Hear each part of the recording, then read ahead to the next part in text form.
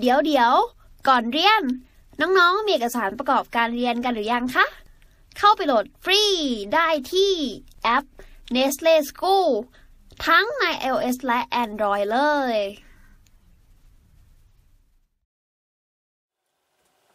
โจทย์ต่อมาเป็นข้อที่ 177 นะครับ ก็คือ ถามว่าในการทำแกลแวนอมิเตอร์เนี่ย ให้เป็นแอมมิเตอร์ดังรูป เพราะว่าถ้าใส่ RS เท่ากับ X โอห์มจะวัดกระแสสูงสุดได้ 1 แอมแปร์ ถ้าใส่ RS เท่ากับ Y โอห์มจะวัดกระแสสูงสุดได้ 10 แอมแปร์ถามว่ากระแสเต็มสเกลของแกลแวนอมิเตอร์ตัวนี้เนี่ย IG จะมีค่าเป็นเท่าไหร่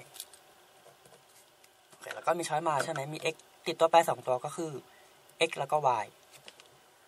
ก็ข้อนี้เนี่ยเขาให้รูปมาด้วย เป็นรูปวงจรง่ายๆเลยนะครับ มีกาวโนเมเตอร์แล้วก็มีตัวชั้นอะ อะก็เดี๋ยวพี่จะวาดรูปให้ดูก่อนปึ๊บ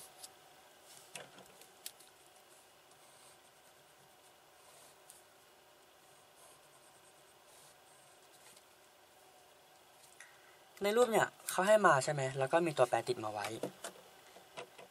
ตัวแปรก็จะมี i i เนี่ยคือกระแสรวมทั้งหมดเลยนะครับเป็นกระแสรวมก่อนที่กระแสเนี่ยมันจะแยกมาเส้นบนเส้นล่าง ข้างบนเป็น ig ข้างล่างเป็น is แล้วก็ค่าความต้านทานแต่ละตัวก็ด้านบนเป็น rg ด้านล่างเป็น rs คือตัวข้างล่างเนี่ยมันคือชั้น ถูกปะหรือว่า s h u n t ก็คือเขาเขียนว่า S เพราะว่า S ย่อมาจากคำว่าชั้น แล้วก็ตัว G เนี่ย มันย่อมาจากคำว่า galvanometer ไม่งงนะตรงนี้จะได้ไม่เข้าใจผิด ทีนี้โจทย์เขาบอกมาอีกว่า ถ้าสมมติให้ RS เท่ากับ x โอห์มสมมติว่า RS มีค่าเป็น x โอห์มจะวัดกระแสสูงสุดได้ 1 แอมแปร์คำว่ากระแสสูงสุดมันคือกระแสที่ก่อนจะแยกไหลอะ่ะ ก็คือกระแสทั้งหมดเส้นใหญ่เลย เท่ากับหนึ่งใช่ไหม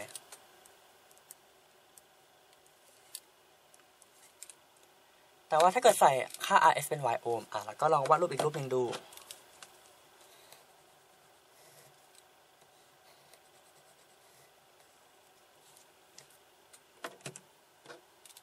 ตรงนี้เป็น RS เท่ากับ Y โอห์มอะแล้วก็ด้านบนเป็น RG เหมือนเดิมเนาะเขาบอกว่าถ้าใส่ RS เป็น Y โอห์มเนี่ย จะวัดกระแสสูงสุดได้ 10 แอมแปร์กระแสสูงสุดก็คือตรงนี้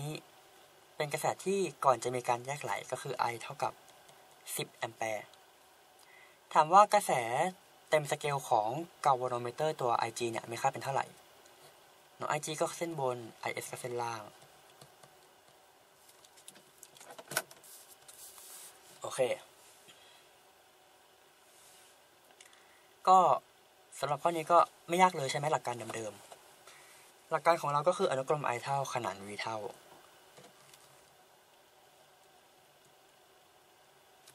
คือที่พี่พยายามย้ำเนี่ยก็เพราะว่าประโยคเนี้ยมันค่อนข้างจะแบบใช้ได้กับโจทย์หลายข้อในเรื่องนี้เลย เนาะเพราะว่าแบบพยายามจำฝังใจให้ได้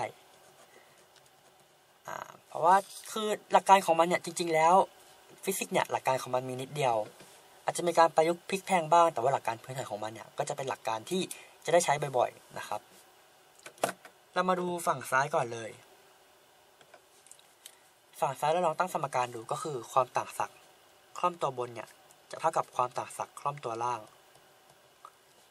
v บนเท่ากับ v ล่าง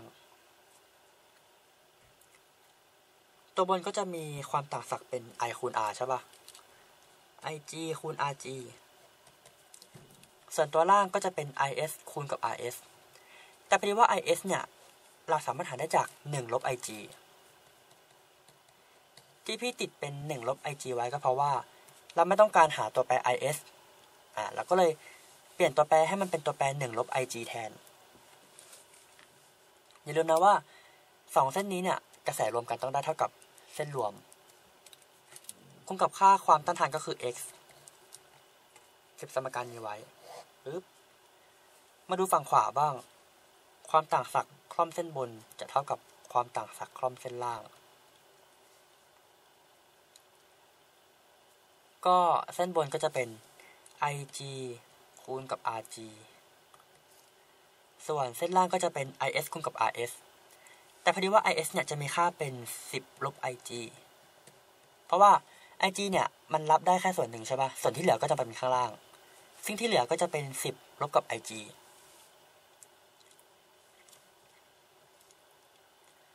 อะแล้วก็ค่าความต้านทานเป็น y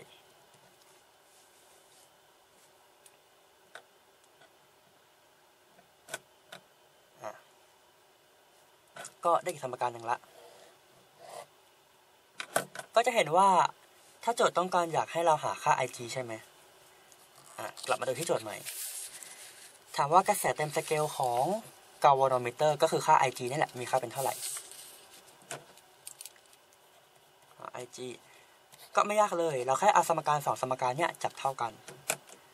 เพราะว่าอะไร เพราะว่า ig rg คูณกันอะมันมีค่าเท่ากันใช่ไหมปึ๊บ เท่ากัน เราก็เลือกมาเลย ฝั่งซ้ายเป็น1ลบ ig คูณกับ x ฝั่งขวาเป็น 10ลบ ig คูณกับ y พยายามดึงตัวร่วมหรือว่าแบบยาข้างสมการไปมาใช่ไหมก็จะเป็น x ลบ ig คูณกับ x เท่ากับ 10y ลบ ig คูณกับ y อะแล้วก็ก่อนก่อนจัดรูปเนี่ยพยายามชำเลืองช้อยหน่อยว่า มันควรจะเป็นยังไงดี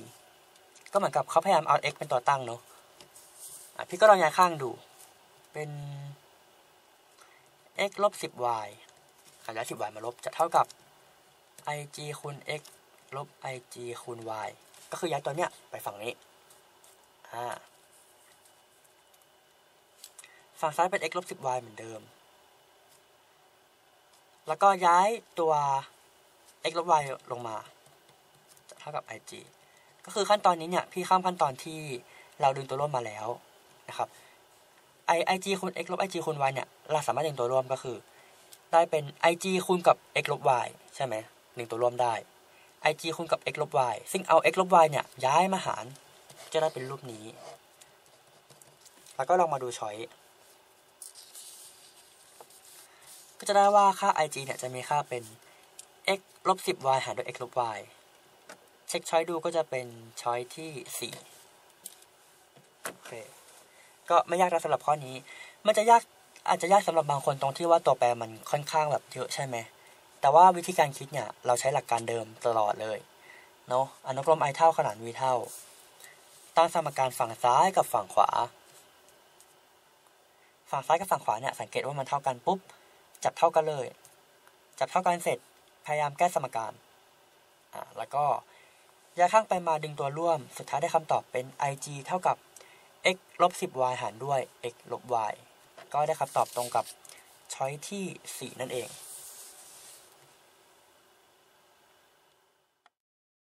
เรียนจบแล้ว อย่าลืม เข้าไปฝึกทำข้อสอบแบบจับเวลา ในแอป Nestle School กันด้วยนะจ๊ะ ถ้าน้องๆมีคำถามสงสัย ไม่เข้าใจตรงไหน ถามว่าในแอปได้เลย แล้วพี่ๆจะรีบเข้าไปตอบให้นะคะ ดูความรู้ว่านานิดเราจะติดใจนะคะ มีอะไรเท่ากัน มีอะไรเหมือนอื